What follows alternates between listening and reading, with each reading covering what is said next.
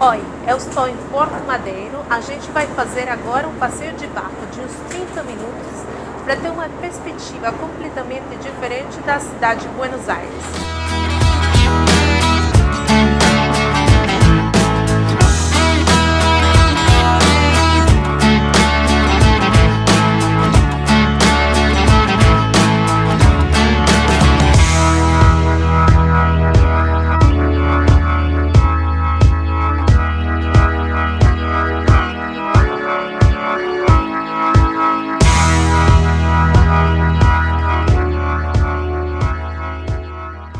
Aqui a gente já começa a ver essa mudança na vista. Temos uma perspectiva muito diferente. Detrás de mim temos a primeira reserva natural que teve a cidade e também as grandes construções de Buenos Aires.